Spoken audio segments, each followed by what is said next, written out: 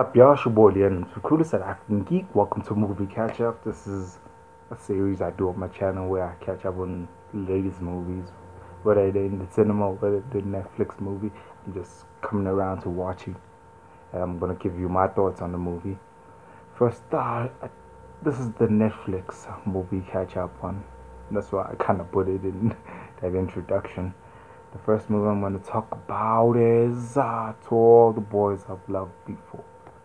This was an interesting movie, classic rom com fashion. It was beautiful, it was sentimental, had you in your feelings. I mean, like, he did what it, it was intended to do. I mean, like, and one of the biggest highlights for me for this movie is how diverse it was without even needing to say it was diverse, you know what I'm saying? The lead was Asian, the whole lead family was kind of Asian, Asian, and the father was white. It was mixed. I think the main love interest was Hispanic. Then his, one of his best friends was black.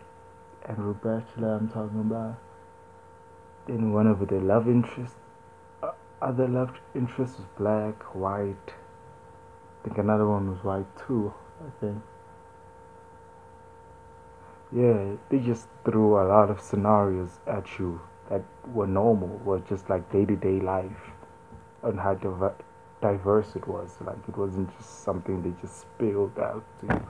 Like, people were cast because they were cast, if you understand what I'm saying. Even though it was written by an Asian American girl, stories based based on her life, but you know what I'm saying? It was natural. Just fit. It was a beautiful movie. Big up to Noah for stealing this show. Like every chick be talking about that dude now. I know him as Jesus on the Fosters.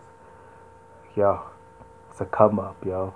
And he probably filmed these movies like way back because he looks way different, like older.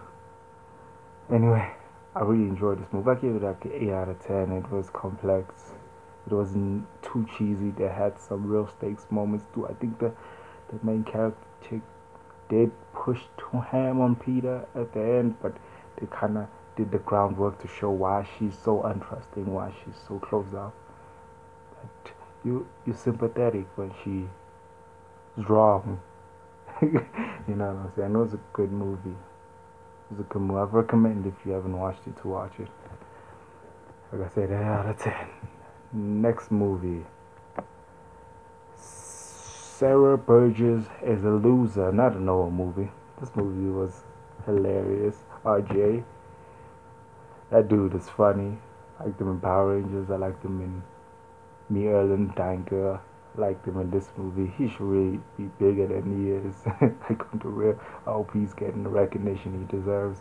The main character chick who's in Riverdale and Stranger Things. I don't know really know her name but she was phenomenal too. Noah was phenomenal too. The best friend, that girl who was a cheerleader, was phenomenal too. Like the story here was more interesting. It, the third act could have gone more better because it was like yeah, they just had like a driveway talk after the cheerleader best friend went to talk to the guy. Maybe they should have showed us that conversation. Who made the third act grab out nicer? You know what I'm saying? Like it felt rushed to me at the end. I felt like it should have been more, you know, anger and hate than understanding. It was kind of like, yo, I understood without really talking to you why you did what you did. I'm still mad, but yo, I still like you for you, which is admirable. Makes Noah's character look bigger and better. But from a narrative standpoint, the realism was off there because everything else in the story is just phenomenal in realism. Like I also give this an 8 out of 10. Like, told you Noah, be killing the game. The next movie on the block is The Package. The weirdest movie out of these three Netflix The Package. Oh, I, I wonder what they were thinking when they were making this movie. It's totally hilarious, totally cringy like it is so weird. This movie is just crazy. It's about teens who go on a camping trip. One cuts his dick off, then it's a whole adventure, adventure of them getting the dick back for the other dude. It was weird as hell, funny, and just so hard a romance in between. Like it was so weird. Oh, like it was a good time.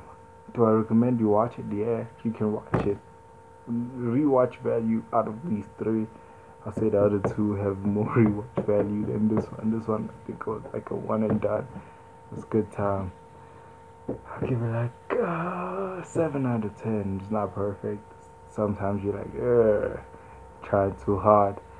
You know what I'm saying? But it was a good time. I found myself enjoying it throughout, even though it was cringy. It, yeah, like I said, seven out of ten. Deuces.